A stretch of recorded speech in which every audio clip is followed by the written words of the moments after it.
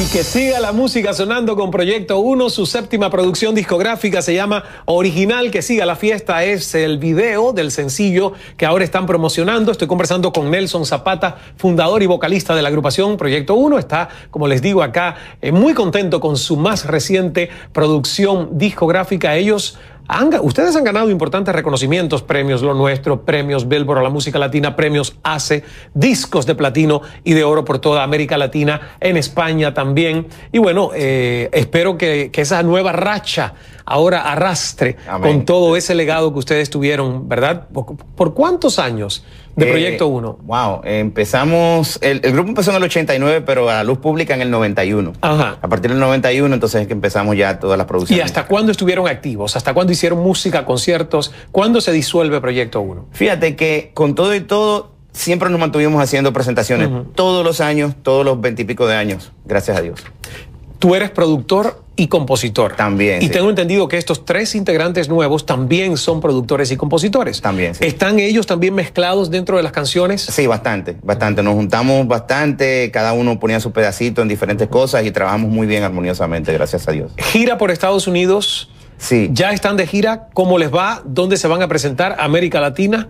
Sí, sí, vamos muy bien. Aquí en Miami empezamos haciendo algo. Estuvimos en Houston, Texas. Ayer regresamos. Eh, vamos ahora para Colombia. Vamos para Venezuela. Eh, tenemos una, una interesante oferta para Jerusalén. Ah, Jerusalén. sí, sí, lo estoy diciendo aquí en público y bueno, y, Dios mediante, pues entonces ahí, ahí, estaremos. También Costa Rica. Va a ser muy interesante que ustedes vayan a Jerusalén. Es una ciudad bastante conservadora, ¿eh? Exactamente. Oye, si tú me dices Tel Aviv, yo todavía puedo decir, porque hay muchísimas discotecas, hay una vida nocturna en Tel Aviv que parece, sí, sí, sí, pero Jerusalén me, me, llama mucho la atención. Sí, sí, exacto. A nosotros también. Y, entonces por eso, pues primero, cuando nos avisaron, me dijeron, bueno, nos están llamando de aquí, todos los chicos estaban, pues, también como, pues no sabemos qué pensar, porque, pues, porque bueno, hemos estado, fíjate, en Japón, Tailandia, eh, um, Australia, pero ya estamos hablando de, de, otra, de, otra, de otra cosa. Entonces, eh, Dios mediante, pues estamos... Eh, formalmente invitados para, para ir para allá. Sé que estuvieron en Guatemala en una discoteca y a ustedes les causó sorpresa que la mayoría de la gente que estaba ahí era gente muy joven y que se sabía las canciones de toda la historia de Proyecto 1. O sea que significa que en, América Latina todavía se sigue poniendo esa música, ¿no? Claro que sí. Yo decía que esa herencia, me imagino, de los padres, ¿no? Seguro que mm. los padres iban a las discotecas con las canciones de nosotros, los hijos las escuchaban en la casita, ahora tienen la oportunidad de salir y siguen amando las canciones y eso, eso es algo eh, que hay que darle gracias a Dios porque no, no puede suceder con muchas agrupaciones, pero con nosotros sí. ¿La música viene por tus venas o tú eres el primer músico en tu familia, Nelson? Fíjate, mi tío José Luis era músico, siempre tocaba guitarra cuando pequeño, era muchas cosas. ¿Dónde, ¿Dónde es esto? Esto es en Nueva York. Eh, primero ellos vivían en Nueva York y luego en Santo Domingo. Ajá, pero tú naciste dónde? Yo nací en Santo Domingo. En Santo Domingo y luego fuiste a Nueva York. Y luego a Nueva York en los 80, exacto. Pero siempre en casa eh, escuchaba música, mami escuchaba eh, que Barry White, Donna Summer, eh, cosas así. y, bueno, eh, toda esa mezcla se me quedó y, y, eso siempre salía al componer. ¿Qué tocas tú? ¿Qué instrumento tocas? El piano, pero para composición. Hay algunas partes, canciones que sí he grabado algunos teclados, pero cuando es algo más, más elaborado me gusta entonces llamar a otra persona para que me lo toque bien ahí el piano. Pero también la guira tocas. Ah, la guira sí. Yo ese fue mi primer instrumento. Mi mamá me quería matar porque yo era en la casa de así y eso era haciendo bulla en la casa siempre. Cuando tú tienes que, por ejemplo, buscar un referente de hacia dónde tú quieres como músico que tu carrera se dirija, ¿quiénes son esos grandes ídolos de la música a los que tú respetas mucho? Wow, eh, respeto muchísimo eh, a, Juan Luis Guerra, eh, a Nile Rodgers, que es, que es para mí mi, mi, ícono musical lo tengo en Twitter, él me sigue y a veces me responde. Entonces, para ¿Ah, mí es una cosa tremenda. Ahora, háblame un poquito de él, porque yo la verdad.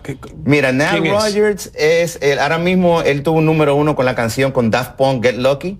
Él toca la guitarra y él fue el que hizo eh, eh, canciones para Madonna, hizo Good Times, hizo eh, cosas para, para Duran Duran. ¿Y cómo es eso que lograste que él te siga también? No sé, porque yo, yo comenté en una, dije, mi ídolo musical es Nile Rodgers y el señor vino, me siguió. ¿En español lo dije o en inglés? Ah, bueno, te entendió, obvio. Sí, exacto. Te entonces entendió y dijo, bueno, pues. Sí, entonces me siento muy... El que quiera que busque a Nile Rodgers en Google se va a sorprender porque hay en cada día de tu vida que tú pongas la radio vas a escuchar una canción de él sin darte cuenta. Wow, mira, es que yo, yo lo estoy descubriendo contigo. Eh, Ismael, una tareita para ti. Búscalo y tú verás que sea. Nelson Zapata me dijo desde Nile Rogers y vas a ver que, que tú amas la música. ¿Cómo de se él. escribe el nombre? Eh, N-I-L-E y Rogers, R-O-D-G-E-R-S. Sí, ok. Sí. Nile Rogers. Nile Rogers, sí. Muy bien, Tremendo muy bien. músico, tremendo. Con él se, empi- se- se inició el primer, la primera canción de rap comercial de la serie Hip Hop, la- porque la canción Ah, esa- ese es de él. Tum, tum, tum. Ah, no, pero no la otra versión de la CRG, sino la primera, la inicial. Eh, la inicial, Good Times, exacto. Exactamente, Entonces cogieron la Good música Times. ahí y de ahí nace todo. Entonces a él le llaman también como uno de los padres del hip hop, por Claro. esa razón. Bueno, pues en algún momento te ves tú haciendo algo en colaboración con este señor. Uf, fuera un sueño. Es A un mí, sueño. Me sale, me, me sale. No, pero, es, pero es que te lo tienes que proponer. Es, es un sueño, es tu ídolo. ¿Por qué no? Los sueños se hacen realidad, Nelson. Sí, pues una vez me voy, me voy a atrever, ya que, ya que lo tengo directo en Twitter, le voy a escribir algo a ver si me hace caso. Mira que cuando vuelvas a este programa estoy seguro que me vas a hablar de que ya el acercamiento se produjo. No me haga llorar porque yo soy. No, pero es que los sueños son para eso. Los sueños Sí. llegan a nuestra mente para que nosotros seamos capaces de alimentarlos y de atrevernos. Sí, sí. ¿No? ¿Quién te iba a decir que él leyó tu comentario y te siguió en Twitter? ¿Quién te dice que él no está interesado en hacer una colaboración con un grupo de música urbana latina? Wow, o sea, fuera- tienes fuera- que intentarlo. Lo haré, lo haré porque me lo dices aquí, aquí, lo voy a hacer, en serio que sí. Perfecto. Vamos a una pausa. Regresamos enseguida con Nelson Zapata, fundador y vocalista de Proyecto 1. Está presentando en Cala su séptima producción discográfica con tres integrantes nuevos. Así que usted revíselo. El video está buenísimo para que no se pierda su próxima fiesta. Que siga la fiesta Proyecto 1 en Cala. Ajá.